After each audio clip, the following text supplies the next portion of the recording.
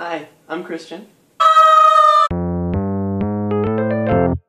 Hello, I'm Adrienne. And I'm Christian. And today we're gonna make peanut brittle!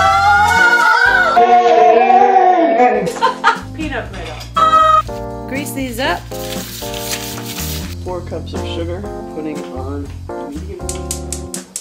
Okay, to be continued. Nothing yet.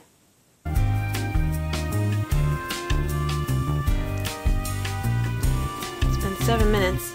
There's some stuff bubbling up.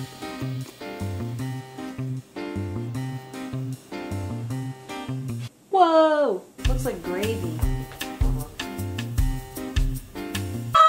Starting to foam up and get bubbly.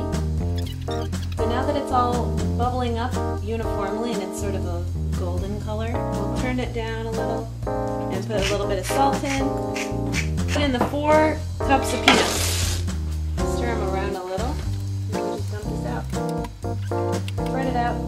In a uniform thickness. Now, check this out.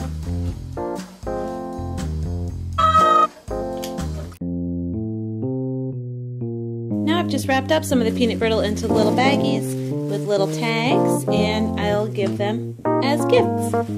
With the brittle, we've got some of the homemade toffee, so I also have that recipe. And it's a nice little candy gift.